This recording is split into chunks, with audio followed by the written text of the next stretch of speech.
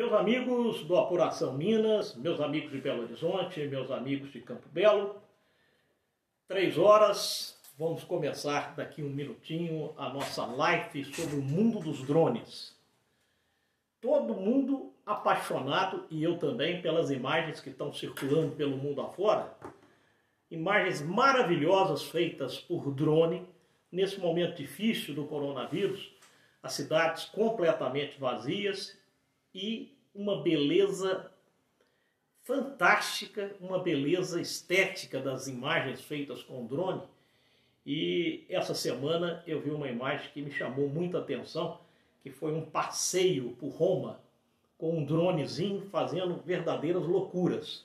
A gente vai falar sobre isso daqui a pouquinho. Daqui a pouco a gente vai falar também sobre esses voos que estão sendo realizados pelo mundo afora com relação a, a, a Covid-19. O mundo dos drones é um bate-papo, uma parceria nossa com a Apuração Minas, para a gente falar dessa tecnologia, dessa tecnologia de ponta que está encantando o mundo e tem cada vez mais utilidades, não só para o lazer, para o divertimento, mas também atividades é, profissionais que utilizam cada vez mais a tecnologia do drone. Eu sou Rodrigo Dias, as pessoas aqui em Campo Belo já me conhecem, sou jornalista, há 33 anos trabalho com imagens, com fotografias e agora recentemente, nos últimos quatro anos, trabalhando com imagens aéreas feitas com drone.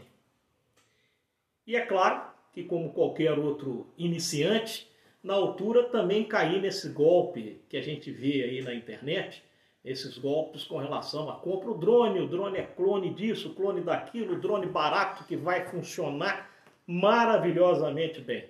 Aí você compra o drone, chega em casa, dá a primeira carga na bateria e o drone simplesmente ou não voa, ou quando voa vai embora, ou é impossível controlar o equipamento. Meus amigos, drone tem que ter qualidade para que você possa usufruir do investimento que você vai realizar. Você pode inclusive comprar um drone mais barato, um dronezinho desses que estão aí, ó. O tablet aqui do lado estava mostrando uma imagem 360 de drone, mas cortou a conexão. Mas acho que a nossa conexão para o ao vivo está bacana. E o investimento inicial é, essas, a publicidade que é feita hoje na internet, principalmente no Facebook, raro dia que você não entra no Facebook tem uma oferta de um drone. E sempre dizendo, esse drone é clone do drone tal. Meus amigos, infelizmente não funciona. Essa tecnologia é uma tecnologia que evoluiu muito nos últimos anos, ficou muito barato para se comprar, em termos de 3, 4 anos atrás, os drones custavam 5, 6 vezes mais caros que custam hoje, e hoje você tem diversas opções para comprar o seu drone. Importante, meus amigos, é o seguinte: o drone, esse aqui é um drone da uma marca chamada DJI, o pessoal fala DJI, que é o nome é, americano desta empresa, que é uma empresa chinesa, que domina 80% do mercado e é, vamos dizer assim, a referência do mercado mundial para quem quer ter um drone um pouco mais avançado, pensando também nas atividades profissionais. Mas, meus amigos, o drone, na verdade, são dois equipamentos. E vou dizer por quê. Nós temos uma parte do drone que é a parte de voo, o que faz o drone levantar, fazer o seu voo ir até onde você quer é, fotografar ou filmar. Isto é a parte é, de voo desse instrumento. Mas tão importante quanto isso é a partezinha que está aqui, ó, que é a lente e a máquina que está dentro do drone, embarcada no drone, que é a máquina para que você possa fazer filmagens e vídeo. Aí começa a gente estabelecer os parâmetros para se comprar um drone. Gente, drone não é um brinquedo. A primeira coisa que a gente tem em mente é que esse equipamento está no ar, voando. É um equipamento que pesa, que tem. É, costumam pesar entre 250 gramas até um quilo e meio, praticamente, é um instrumento extremamente perigoso. Quando ele está no ar, você tem que tomar todo cuidado, toda atenção com o voo para que você não possa ocasionar um acidente com essa aeronave. Nós vamos falar também da legislação, o que obriga, é, a partir da compra de um drone, quais são as suas responsabilidades para com este instrumento. Então, a primeira coisa é não considerar o drone um brinquedo. É um instrumento para o divertimento, para o lazer, é um instrumento para trabalho e deve ser tratado com todo cuidado e com toda atenção para que durante o voo não haja nenhum tipo de acidente. Como eu estava dizendo, a importância da escolha do drone está nos aspectos do voo. Vou ter um equipamento para voar, para que eu possa explorar ambientes, ser meu companheiro de viagem, fazer aquela selfie mais aprimorada com o drone sendo o seu fotógrafo particular, o seu cinegrafista particular. E então, esse instrumento é o primeiro parâmetro para a escolha da compra do drone é o que eu quero, o que eu pretendo fazer com o drone. A grande vantagem desse equipamento, o, o grande barato, o grande divertimento desse equipamento é que ele para no ar, ele fica estável no ar. A partir desta estabilidade do drone é que é possível você fazer uma boa fotografia ou uma boa filmagem. Nós temos drones de todos os preços. O importante na primeira escolha é saber o que é que este drone que você está comprando, o que vai fazer esse drone ficar estável no ar para que você possa fazer as suas fotografias ou os seus vídeos. Ou então fazer o seu voo também, explorar todo o ambiente que você quer explorar com seu equipamento. Esse aqui é o Telo, ele vai ganhar daqui a pouco um capítulo à parte.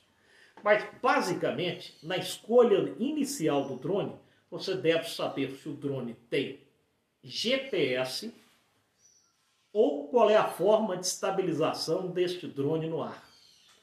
GPS todo mundo conhece aquele instrumento que está no seu celular, que te permite é, saber exatamente aonde você está em qualquer lugar que você esteja. Este é o GPS. O GPS faz exatamente a mesma coisa no drone. Ele diz para o drone aonde ele está, aonde ele está posicionado e diz a ele o seguinte: não saia daí até que o operador o piloto do drone te diga para ir para a direita, para a esquerda, para cima, para baixo, girar no seu eixo ou não. Então, o primeiro parâmetro de escolha para um drone. O drone tem GPS? Se o drone tem GPS, a princípio, a princípio, é um drone que ele tem uma estabilidade de voo. Ou seja, ele levanta, para no ar e aguarda que você determine se ele vai para a direita, para a esquerda, para cima ou para baixo. Esses drones com GPS são os drones que estão na faixa entre 500 até 35 mil reais. Existe diferença? Claro que existe diferença de um drone de 500 reais com GPS do que um de 35 mil, porque não é só o GPS o parâmetro para definir é, a compra de um drone.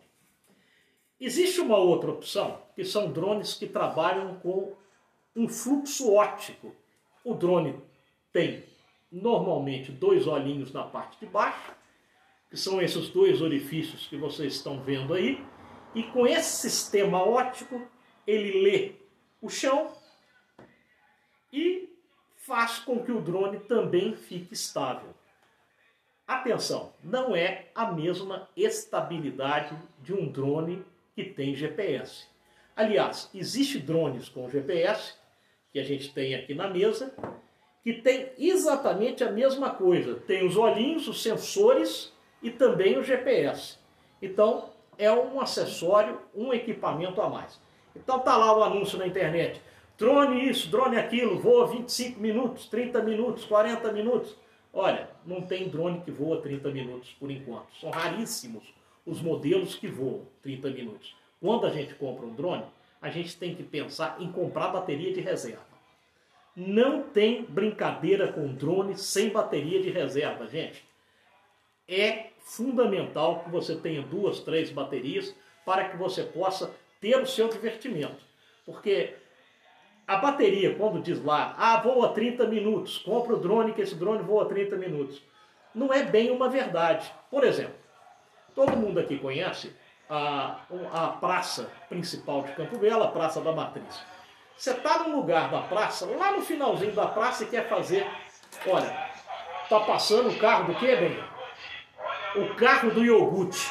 Se você quiser comprar um iogurte, está na hora, hein? Tá passando o carro do iogurte, é 10 reais o pacote.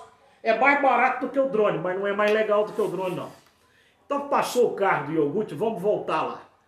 Então por que, que a bateria, essa questão de bateria, de tempo de bateria, ter duas baterias, quatro baterias, é muito importante? Porque para fazer uma... Agora é o picolé. Para fazer um voo, você precisa posicionar o seu drone. Então você levanta de um lugar, vai até lá, para, faz a foto e volta. Então, quanto mais tempo a bateria durar, mais capacidade você tem de fazer os seus voos. E se você tem uma bateria de reserva, você tá, você faz o voo, faz a sua primeira foto, gastou a bateria, daqui a pouco você troca a bateria do drone e continua se divertindo com o drone utilizando as diversas baterias que você tem. Agora atenção, a bateria do drone costuma ser muito cara. Dependendo do modelo, na hora que você estiver escolhendo o seu drone, então o primeiro aspecto que você vai olhar no drone é se o drone tem GPS ou não tem GPS, ou se ele trabalha com esse fluxo aqui, se ele trabalha com esses olhinhos que faz a posição através... Olá, Inácio! que faz a posição do drone através desse sistema óptico. Então isso é uma das primeiras opções. Então vamos lá escolher o drone. A segunda, qual é o tempo e autonomia da bateria? Obrigado, Lester. Um abraço para você acompanhando aí também a nossa transmissão. Então, gente, o tempo da bateria é um fator para a compra. E o preço da bateria sobressalente. Você precisa da bateria você precisa é, ter a bateria é, de reserva, porque os, inclusive o tempo de recarga dessas baterias costuma ser alto. Então não resolve você ter uma bateria, ah, eu vou, daqui a pouco eu ponho para carregar e volto. Não dá tempo. Você tem que ter mesmo as baterias de reserva e é um dos fatores para você analisar na sua compra. Tem GPS? Sim ou não? É um sistema de leitura ótica? É. Qual é o tempo da bateria? Esses fatores esses dois fatores. E depois tem um detalhe interessante. Alguns drones, alguns drones são operados, são dirigidos, pilotados pelo próprio telefone celular. Eles não vêm com controle. O controle à parte. Esses drones que são controlados pelo telefone celular, esses drones são os drones que são mais baratos. Porque quando você compra, você compra o drone e não tem o preço de custo do equipamento, que é o rádio controle, que é isso aqui que depois a gente fala um pouquinho sobre ele. Então vamos lá. Nós já sabemos a bateria, qual é o tempo da bateria, nós sabemos se o drone tem GPS ou se não tem GPS. Agora a gente vai saber da parte ótica do drone. Ou seja, a parte de voar, a gente já sabe que ele tem autonomia, que ele tem GPS, se ele tem controle externo, se ele tem rádio controle ou não, se ele é pilotado pelo telefone celular. E agora a gente vai ver a parte da máquina digital do drone. Gente, o drone, todos os drones, 99% dos drones, e é assim que é interessante, a gente gosta do drone, é porque ele pode fazer fotografia, pode fazer vídeo, tem aqui uma câmerazinha. Outro fator importante, a qualidade desta câmera de vídeo e a qualidade da câmera fotográfica. Vamos falar da câmera fotográfica. Todo mundo aí já sabe esse negócio de megapixel. Ah, meu telefone tem 12 megapixels, meu telefone tem 48, meu telefone tem 64, que a grosso modo, sem a gente ir muito para a parte técnica, seria o tamanho da imagem. Atenção, tamanho da imagem não tem a ver com a qualidade da imagem. Você pode ter uma imagem desse tamanho, comprar um telefone celular de 64 megapixels e na hora de fazer a fotografia, a fotografia sai sem qualidade, sem é, a qualidade para você perceber os detalhes. E o que, que é essa tal qualidade? Você faz uma foto, minha por exemplo aqui, com um telefone de 64 megapixels, mas que você pagou 350 reais no telefone. Aí você faz a foto, vai ampliar, vai aumentando, aumentando, aumentando a foto, daqui a pouco o rosto já não tem mais as linhas retas, as linhas curvas, começa a aparecer um monte de quadradinho, um monte de pixel e daqui a pouco você não consegue mais enxergar a imagem. Isso é a falta da qualidade, que também tem a ver com a lente. Mas vamos devagarzinho. Então você vai lá, olhou aquelas características todas, vamos para a máquina digital que vai embarcada no seu drone. Qual é a qualidade desta máquina? Ela tem 5, 6, 7, 8, 10 megapixels, 12 megapixels. E aí? Se você comprar um drone com 1 megapixel, 2 megapixels, muito provavelmente, muito provavelmente, Leandro, um abraço, muito provavelmente não terá qualidade.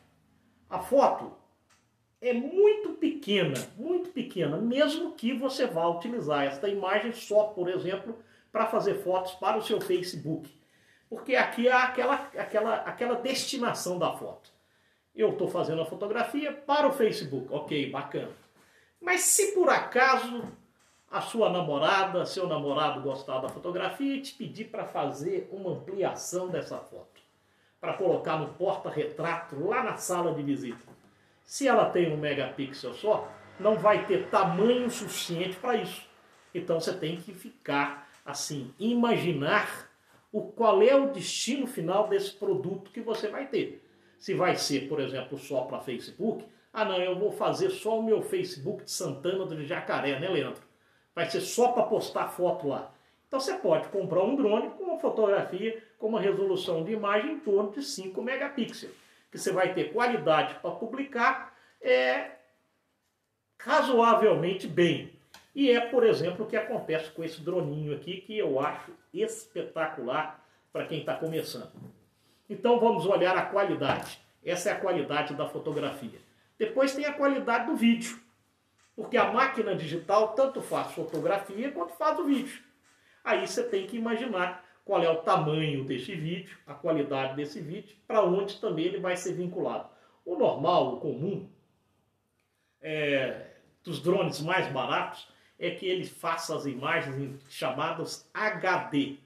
Uma alta definição, mas que não é tão alta assim, por exemplo, para você pegar esta imagem e, vamos dizer, fornecer para uma estação de televisão. Pronto, não dá. Mas para o dia a dia, para suas filmagens, para o Facebook, para a família, é perfeitamente possível. Para o YouTube ou para outro canal, é perfeitamente possível você comprar um drone que filme em HD. Então vamos lá, vamos, vamos lembrar. Estou comprando o drone, vi um anúncio no Facebook. Tem GPS? Sim ou não? Bateria dura quanto tempo? É, a câmera digital. Filma, filma, filma em quanto? Aí você vai tendo os seus parâmetros para comprar a máquina. Uma, comprar a máquina que vai embarcada no seu drone. Você sempre imagina, eu vou analisar a parte de voo e vou analisar a parte da máquina digital. São duas coisas completamente diferentes. São completamente diferentes. São dois parâmetros completamente diferentes e que são variáveis a cada modelo de drone que você for comprar. Aí tem também a questão: eu vou pilotar o drone no celular ou vou pilotar o drone no controle? Todos os drones que têm controle remoto, ou que têm o rádio controle, todos os drones que têm controle remoto voam mais distante do que os drones que são controlados pelo telefone celular. Os que são controlados pelo telefone celular, eles trabalham com o Wi-Fi. Wi-Fi, aquele Wi-Fi que você conhece, o que você conecta lá no seu, no, no seu roteador de casa, aí você já imagina, você conectou no roteador, saiu para a porta de fora, andou 50 metros, já não funciona mais. Então é o mesmo princípio dos drones que trabalham com o telefone celular. Não tem essas anteninhas no controle, porque não tem o controle, então a distância que você vai utilizar é sempre muito menor do que um drone que tiver um controle. E hoje você pode comprar um drone com controle é, também aí na faixa de mil reais aproximadamente. Não é? Então, essas características iniciais. Agora, uma outra característica bacana para você escolher no seu drone. A qualidade da imagem que você está filmando, principalmente que você está filmando, quando você tem um drone mais simplesinho, a imagem é captada por esta câmera e transmitida para o seu telefone celular ou o seu rádio controle. Então é muito interessante, quando você for comprar um drone, você analisar se o drone tem uma entradinha para o cartão de memória. A maioria dos drones um pouquinho melhores tem esse cartãozinho, essa ranhurazinha aqui na parte de trás, ou de lado ou por baixo do drone, para que você possa, em vez das imagens serem só transmitidas do drone para o telefone celular, e olha só, ele tem que viajar as imagens. As imagens saem do drone e vai para o seu telefone celular. Neste meio de caminho aqui, tem as interferências todas que o seu drone pode sofrer. Ou pode sofrer essa transmissão dos dados que estão aqui para o telefone celular. Aí começa a imagem ficar cheia de chiado, a imagem ficar ruim, embaçada e etc. Então, prefira, na hora da compra, comprar um drone que tenha o cartãozinho de memória atrás para que as imagens sejam gravadas aqui. Ela está sendo captada, ó, a imagem está, o drone está enxergando a minha mesa aqui, está filmando. A imagem já está sendo gravada aqui, ó, dentro do drone. A imagem que está saindo daqui para ir para o controle é só para a gente ver. Não é a imagem que a gente vai guardar para depois você passar no YouTube, você passar no Facebook, você mostrar para seus amigos, botar no WhatsApp. Então, outro aspecto interessante para poder comprar um drone é saber se ele pode colocar o cartão de memória. Com esses aspectos todos da escolha do drone, do modelo do drone, você já está quase apto a comprar um drone sem passar muita raiva. Agora, esse negócio de drone é complicado. A minha esposa é que diga. Você compra um drone hoje, né? Daqui a pouco você descobre que tem um drone que tem uma funçãozinha a mais, que é mais bacana, aí vem o segundo drone. Aí o primeiro drone já era. E o que é pior de todo, né? O que é pior do drone é que depois você não consegue vender o drone pelo mesmo preço. Então, olha, cuidado na hora de comprar, porque talvez seja melhor você esperar um pouquinho. Ou então, hoje, hoje é uma coisa fantástica que está acontecendo no mercado, é que antigamente, o antigamente que eu estou dizendo é dois anos atrás, não estou falando de antigamente, de três, quatro, cinco anos, não. Antigamente, para você comprar um drone, você tinha que. Nossa, onde é que eu vou comprar um drone? No Mercado Livre, não sei aonde, alguém que traz do Paraguai, alguém que vai trazer o drone. Hoje, as principais marcas de drone, e eu digo aqui a DJI, DJI é um negócio, é DJI que escreve. Mas o pessoal fala DJI porque a marca internacional fica mais bonito, até mais chique, né? DJI, DJI. Não, DJI fica mais bonito. E você pode comprar em qualquer loja dessas grandes redes nacionais. Você consegue comprar o drone, pagar de 12 vezes, inclusive algumas até 12 vezes sem juros. Então compensa você comprar hoje um drone numa dessas lojas, principalmente porque daqui a pouco, quando a gente falar da parte da legislação, você vai ver que esses drones têm que ser homologados. Ou seja, você compra o drone, se você comprar no mercado paralelo, no mercado livre, mas depois você vai ter que passar por um processo de é, regulamentação do drone.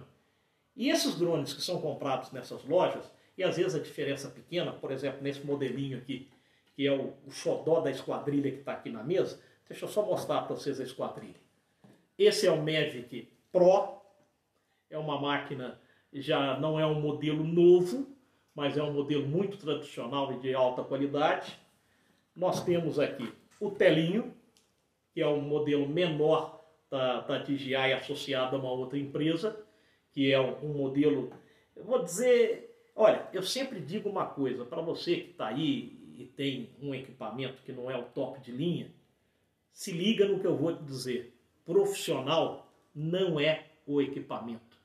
Profissional é quem opera o equipamento. Quem utiliza o equipamento é que é o profissional.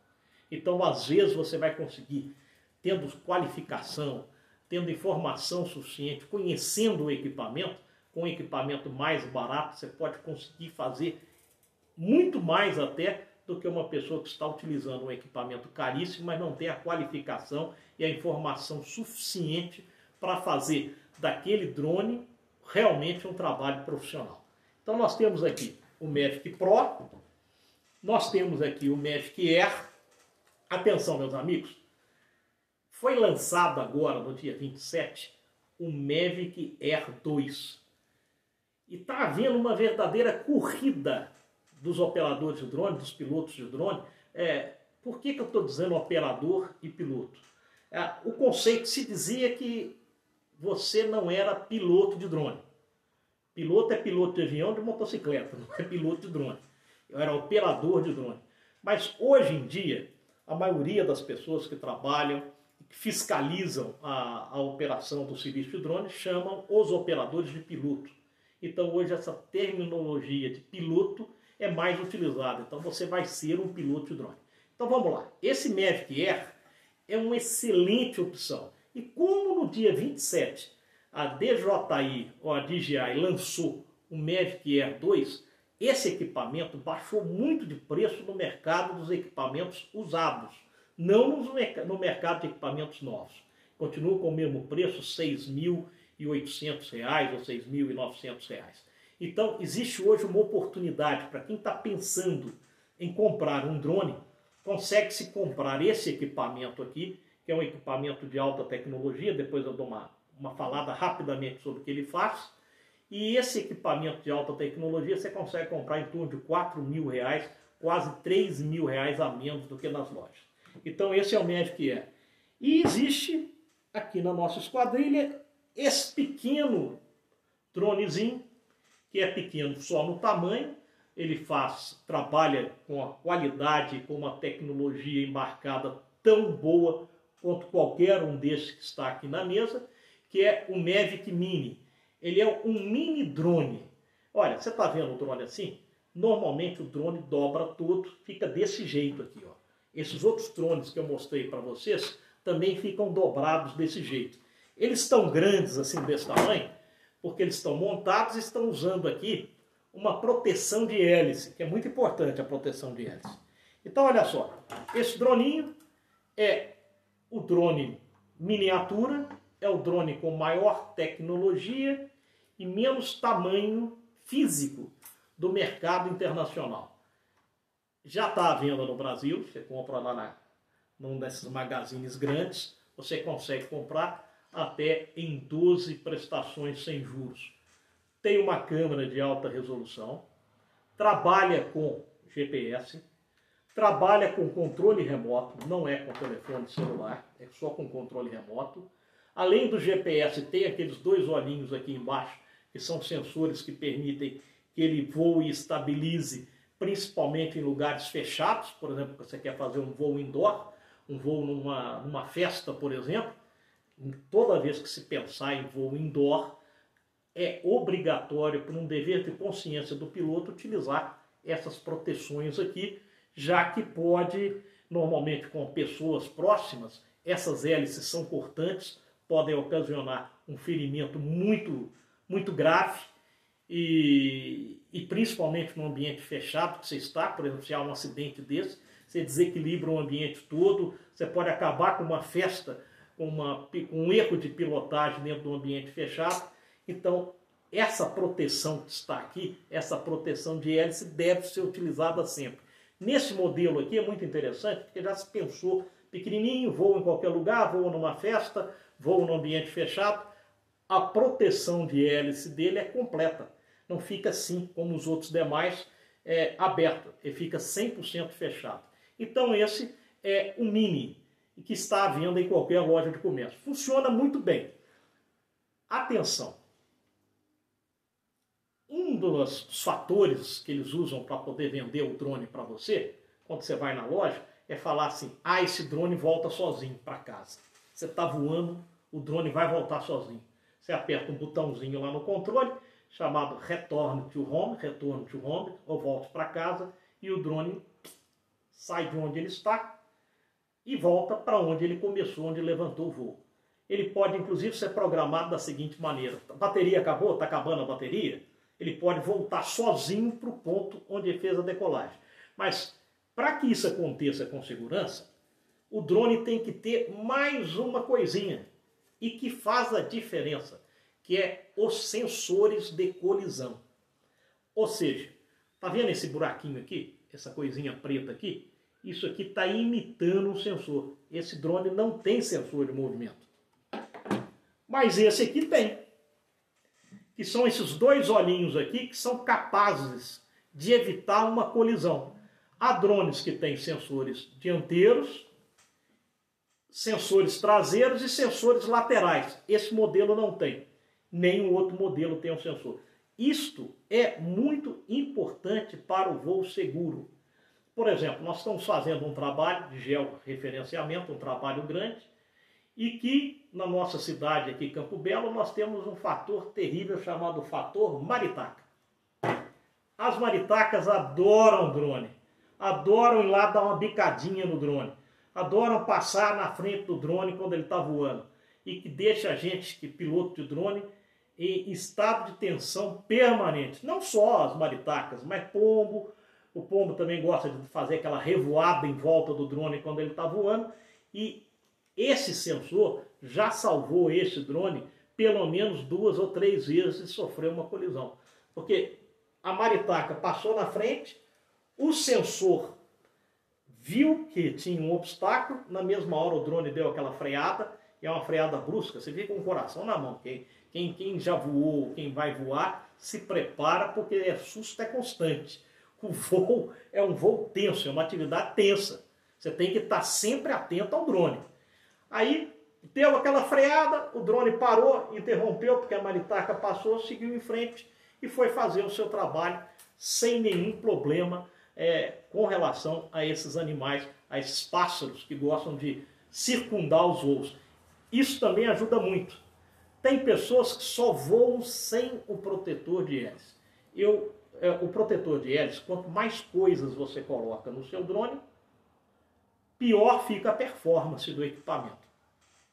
Mas tudo dentro do, do limite de segurança. Né? Isso aqui é um acessório original, vem com equipamento.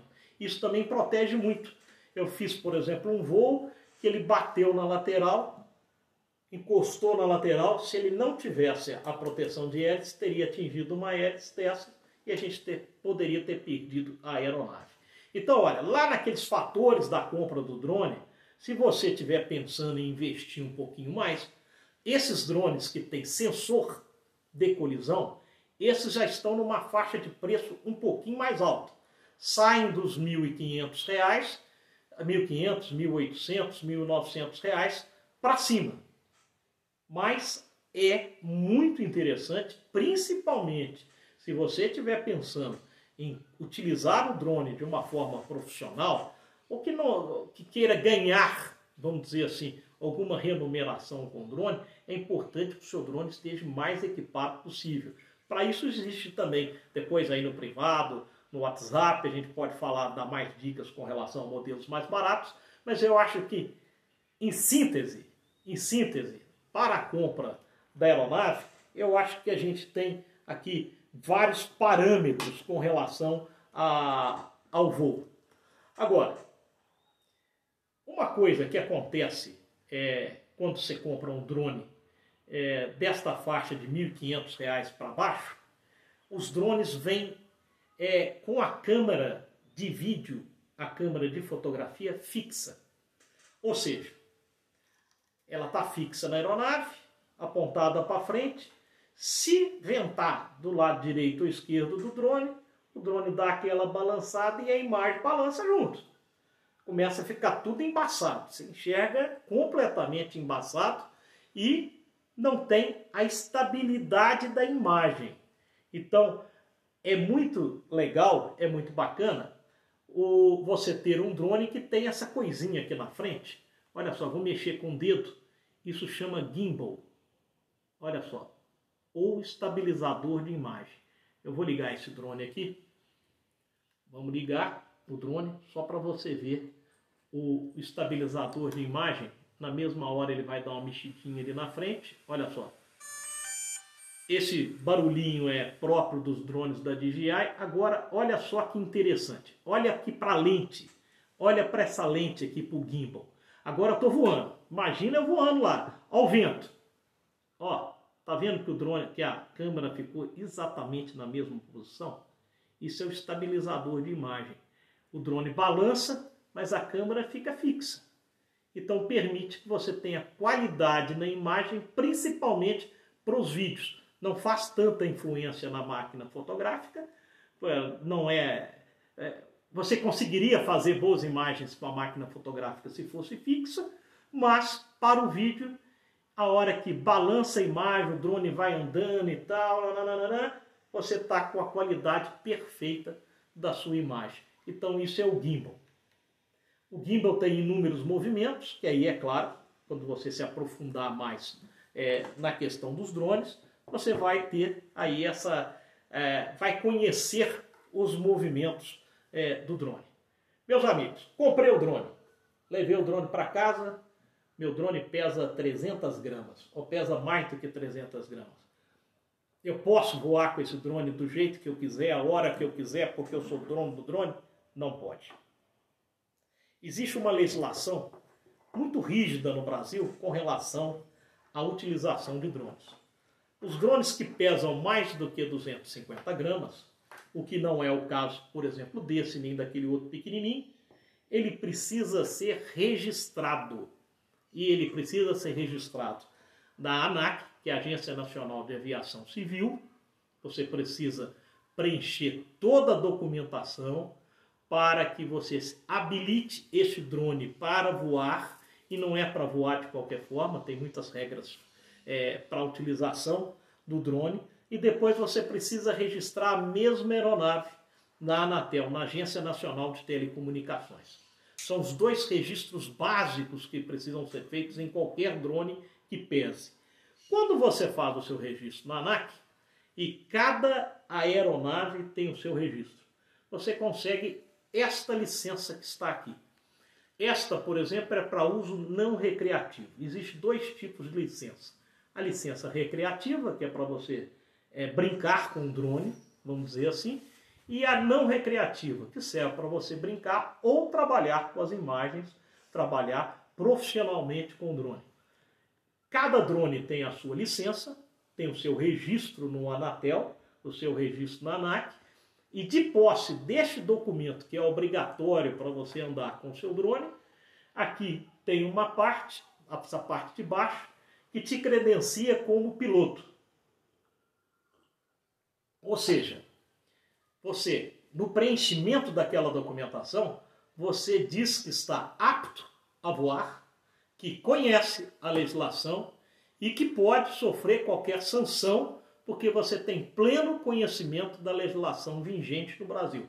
Então, a parte de cima deste documento credencia a sua aeronave, no caso, esse documento é dessa aeronave que está aqui, e a parte de baixo diz que eu, que o detentor desse certificado, o operador, é, ou quem utilizar a aeronave, é considerado pela Anatel apto a realizar voos, ou seja, está apto, é um piloto um operador de drone no Brasil e com aeronave, etc, etc, etc, etc. Isto regulamenta todo o serviço de drone modelismo no Brasil. Agora, existem as regras, claro. São muitas regras. Eu vou dizer apenas uma das mais importantes e uma das mais necessárias. Não perca o drone de vista. Não perca o seu equipamento de vista você vai voar com drone, preste atenção. Os olhos têm que estar no controle e no drone. É muita responsabilidade. Imagine, por exemplo, uma aeronave dessa caindo de 120 metros de altura. E por que, que eu estou usando 120 metros? Porque essa é a licença, é o, o teto de operação de drone, 120 metros. Imagina uma queda deste equipamento. Você tem que prestar atenção, você tem que, no uso contínuo da sua aeronave, você vai conhecer até o barulho do motor. Você vai saber se o motorzinho está rodando direitinho, se está todos os quatro motores do, do seu, do seu drone funcionando, se está tudo certinho. Então é muito importante respeitar as normas da legislação. E se você for fazer um voo a mais é, de 30 metros de altura, se for fazer um voo a mais de 30 metros, um voo numa área é, que tenha, vamos dizer, é, habitável, você deve sempre, sempre, sempre fazer o plano de voo. O plano de voo é muito simples. Você estando com, sua, com seu registro na ANAC, o seu registro no DECEA, que é o Departamento de Controle do Espaço Aéreo, você requisita como se fosse um avião, isso aqui na verdade é uma aeronave, tem prefixo, você requisita um voo para aquela área determinada onde você vai fazer o voo com seu drone. Eles emitem uma, uma autorização e naquela hora, naquele espaço aéreo, você tem é, autoridade para poder voar. Agora, é claro que as aeronaves é, tripuladas, etc., sempre estão com prioridade absoluta sobre os drones. A prioridade é para o voo tripulado. Mas, naquele momento, você que possa dar autorização do Departamento de Controle do Espaço Aéreo, aquele espaço aéreo salva, salvo uma emergência, por exemplo, onde precisa passar um avião de transporte médico, um helicóptero de transporte médico, você pode voar tranquilo, que não passará nenhum avião ali naquele momento que você solicitou o espaço aéreo para o voo. Isso é muito importante, são as regras de segurança para os voos. Agora, você vai voar 10 metros de altura, precisa dessa autorização de voo para 10 metros de altura, para que você mantenha o voo no visual 10 metros ali no seu sítio, na sua fazenda, não é necessário. Mas se você for ultrapassar determinada altura, é sempre necessário você ter autorização para aquele voo. É muito importante você ter autorização, ter o registro na ANAC, o registro no DSEA, para que você possa estar voando tranquilo com suas aeronaves. Meus amigos, já falamos um pouquinho sobre, sobre aeronaves, já falamos um pouquinho sobre legislação, já falamos sobre os modelos que você pode comprar e agora as utilizações do drone. Olha, nesse período de quarentena, a gente viu o drone funcionar até com um pequeno alto-falantezinho aqui, que é um acessório, recomendando às pessoas que voltem para casa e que não estejam na rua. O drone hoje tem inúmeras aplicações comerciais e existe em diversas empresas, como Vale, do Rio Doce, como Petrobras, já existe inclusive os pilotos de drone, os operadores de drone, e com um salário muito interessante, muito interessante. É, o drone pode ser utilizado, basicamente, pode ser utilizado na área de segurança, na área de controle de eventos, acompanhamento de eventos, você pode prestar serviço, por exemplo, nesta área, por exemplo, o carnaval. É sempre necessário, quanto mais é, vigilância houver daquela pessoa, do, do pessoal que está pulando carnaval, é, o drone funciona perfeitamente para esse tipo de vigilância. Funciona também para vigil, vigilância de áreas fechadas, por exemplo, de grandes, grandes áreas, por exemplo, de estoque de material, onde o drone faz o patrulhamento daquela área através do voo do drone. Muito importante, há muito trabalho para isso. O drone na agricultura, o drone na agricultura tem inúmeras utilidades, inúmeras. Inclusive o tal do geoprocessamento, que é a utilização do drone para gerar mapas, para gerar é, leituras e informações, não só para a agricultura, mas também para a administração pública, por exemplo.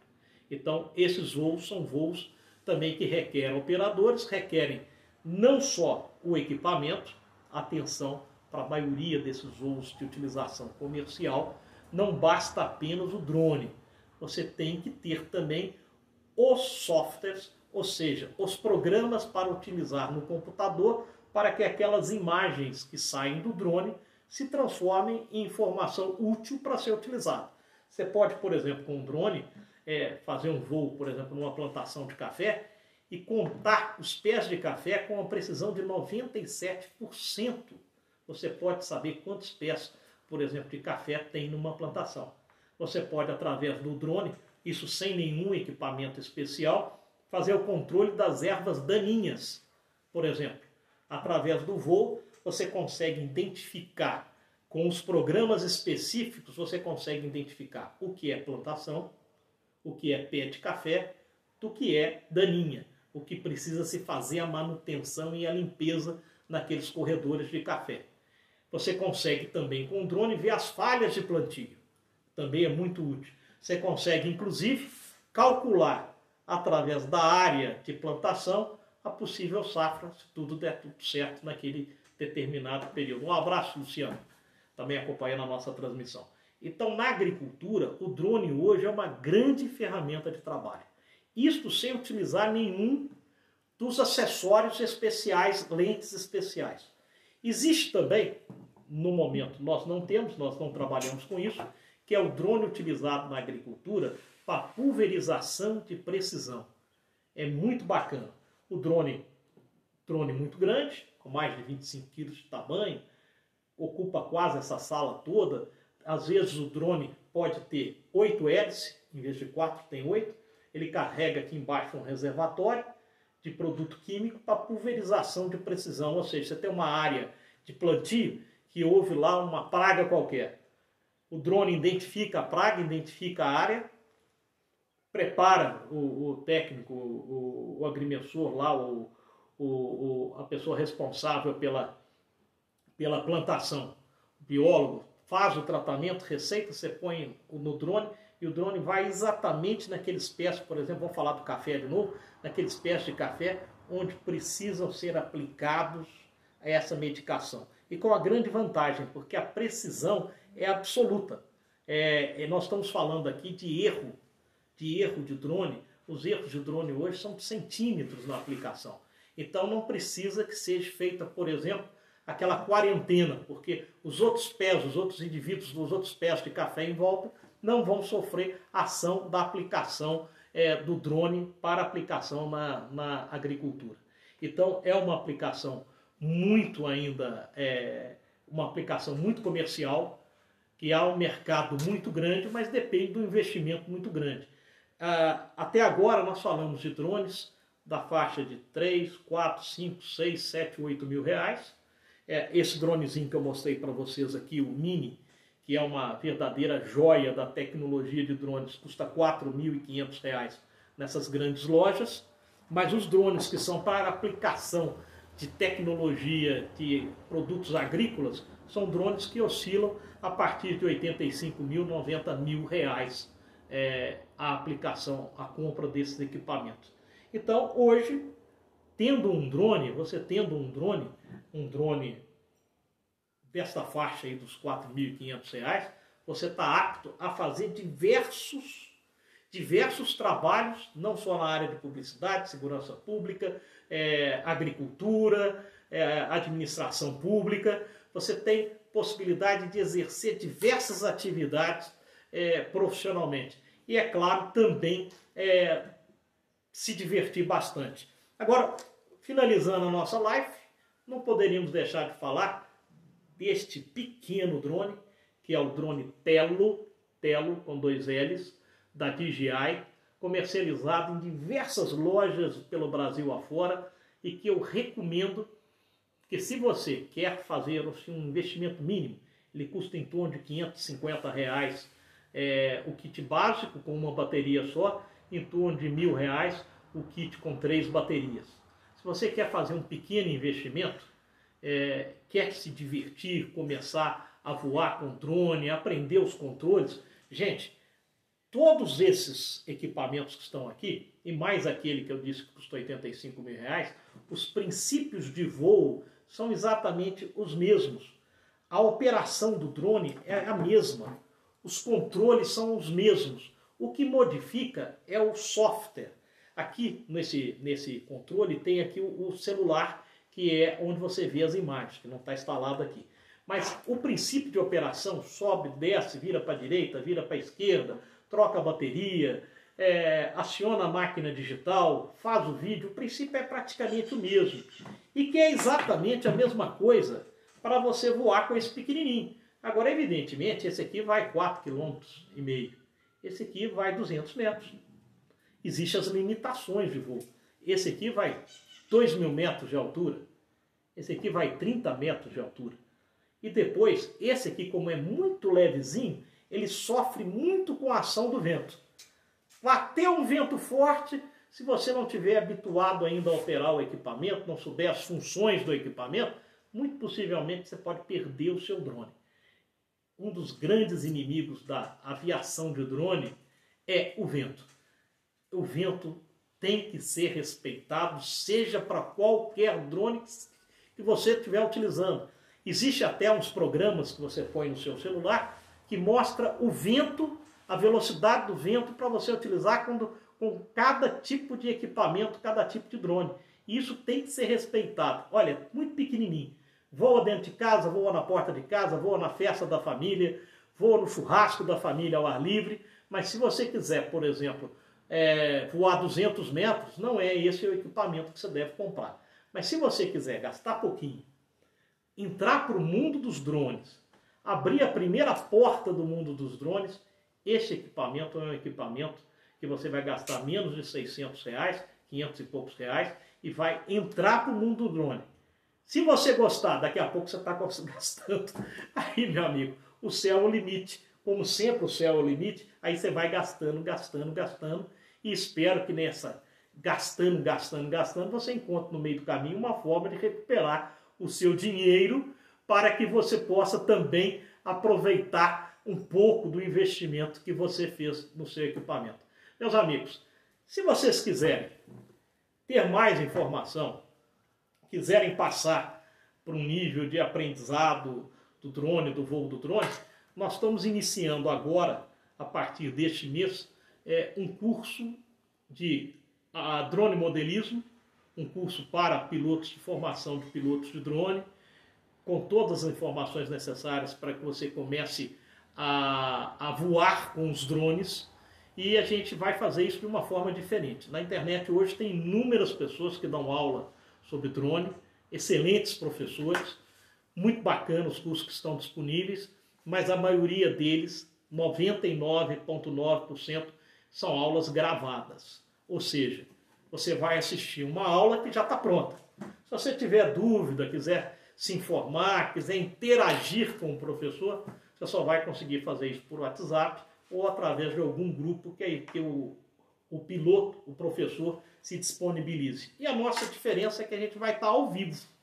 Eu quero fazer o curso, o curso tem 12 horas de aula, tem uma parte teórica que é feita aqui através é, da internet, é, de uma forma interativa, porque eu estarei com você durante a aula, num grupo ma é, maior de alunos, de três alunos, estaremos ao vivo em diversos horários durante o dia e a noite, e faremos os voos, a parte prática, nós faremos na cidade de Belo Horizonte e na cidade de Campo Belo, aqui no sul de Minas. Então nós teremos duas oportunidades para se fazer. Se você estiver é, na região de Belo Horizonte fazendo o curso, vai voar em Belo Horizonte. Se estiver aqui no sul de Minas, vai voar aqui em Campo Belo. Se você estiver fora desses dois lugares e quiser passar o final de semana aqui na nossa Campo Belo, eu te faço o convite. Você vem passar aqui, nós temos uma hotelaria boa, barata, temos aqui uma feirinha gastronômica na sexta-feira maravilhosa, você pode vir para a feirinha.